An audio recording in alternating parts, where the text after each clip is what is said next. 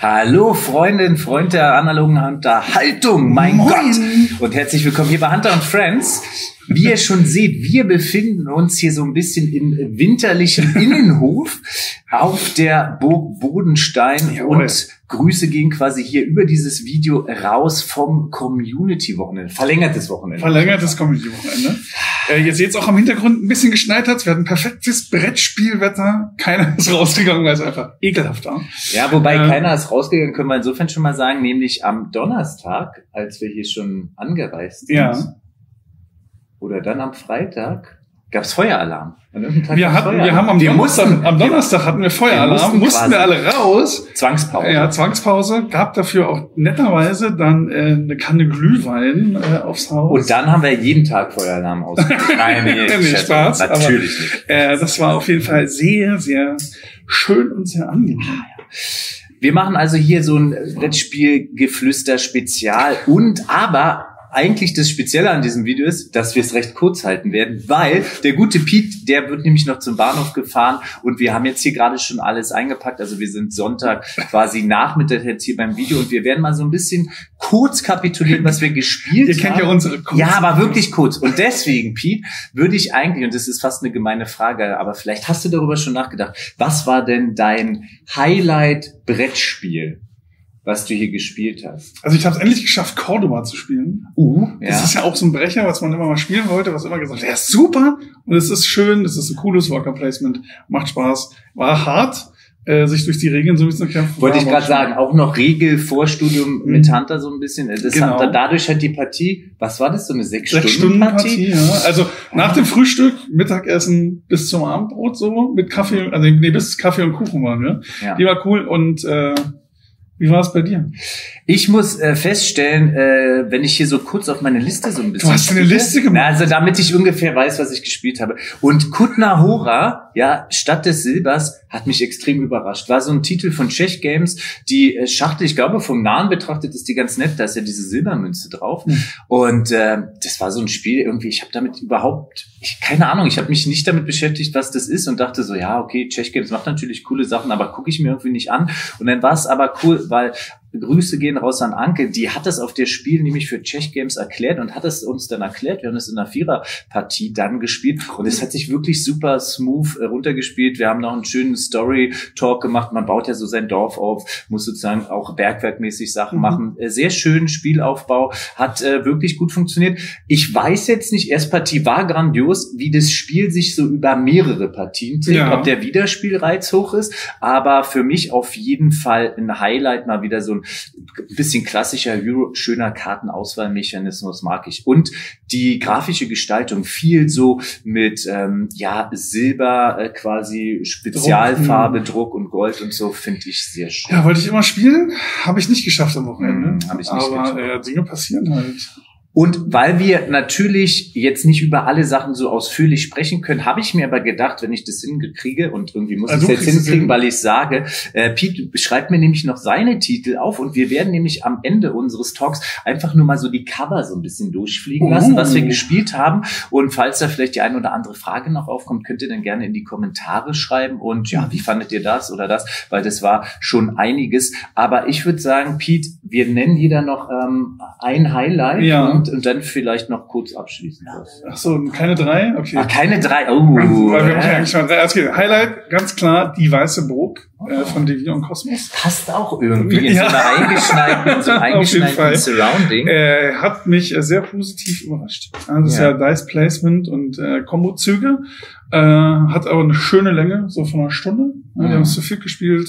Haben wir netterweise von dem Miro erklärt bekommen. Vielen Dank dafür. Der hat äh, sehr viele Spiele erklärt. Und, ähm, nicht nur gewonnen. Der hat nicht nur Spiele gewonnen, Nee, sondern auch er hat das Spiel erklärt. verloren, aber auch er hat sehr viele Spiele erklärt und ähm, dafür auch vielen Dank, dass so viele Leute von dir Spiele lernen konnten.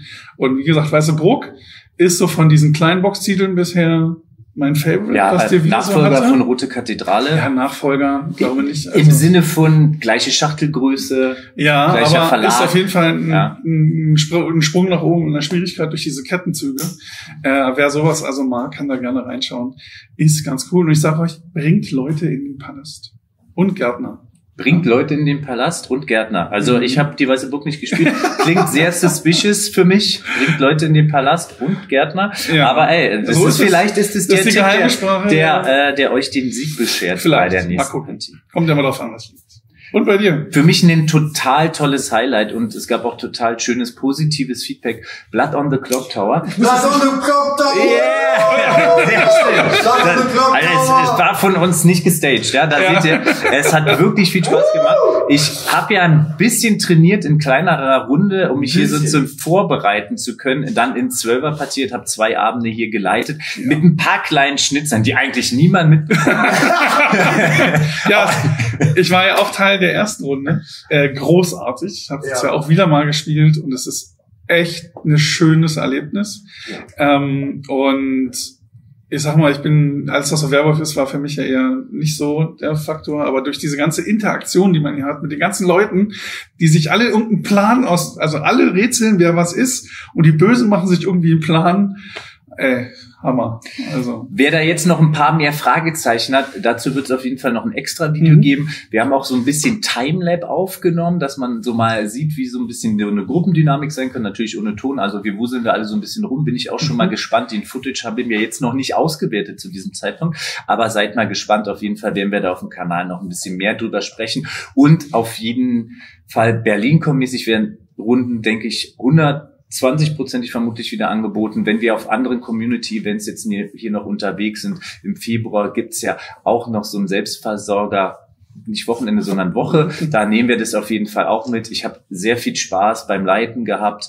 Äh, Von daher werdet ihr, wenn ihr da mal mit dabei seid, in den Genuss kommen können. Ansonsten kann ich es nur empfehlen, fragt da mal in eurer Region um. Wenn ihr zum Beispiel aus dem Raum Berlin seid, da gibt Da es ganz viele äh, ganz vier, fünf Runden. äh. Englisch, Deutsch. Ähm, ansonsten guckt mal in eurer Stadt oder schließt euch als Gruppe zusammen. Wir können schon so viel sagen. Bei Funtails kommt's ja auf Deutsch raus. Ähm, da kann man geil. vielleicht noch ein bisschen warten und dann kann man sich das vielleicht so als Gruppenspiel mal leisten. Ja, das war auf jeden Fall super, super cool. Generell, du hast ja gesagt, mit den Leuten, einfach hier wieder auch mit den Leuten zu sein, Spiele zu spielen in diesem wirklich schönen Surrounding hier in dieser Burg Bodenstein. Mhm. Ähm, das ist auch so schöne verwinkelte Sachen. Man konnte hier selber irgendwie Dinge irgendwie entdecken. Es gab einen Gruselkeller. Es gab eine Verlies. Kapelle. Ja, Ja. also. Es gab den Glockenturm, der genau über unserem Zimmer Ja, das muss man festhalten. Wenn da Glockenzimmer steht, dann meinen die das auch. Ja. Also, das Das ist vielleicht so ein Thema, wenn man länger als um acht schlafen wollte.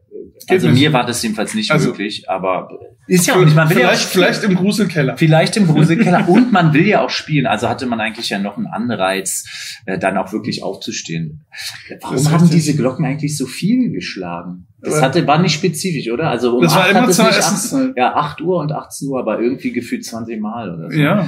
Vielleicht. Ja, wenn die ähm, schon mal läuft, dann- Wir sind nicht drin im Glockenschlag. Was ist das? Rhythmushymne? Da gibt's bestimmt, das war bestimmt irgendein, äh, irgendwie, was man so macht, wenn man so eine Auf Glocke hämmert. Ja.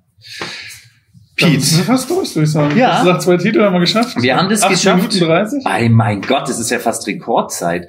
Wir blenden jetzt mal noch ein paar Cover ein, na, von den Sachen, die wir hier gespielt haben. Ähm, ähm, ein bisschen neuere, ein bisschen ältere Sachen.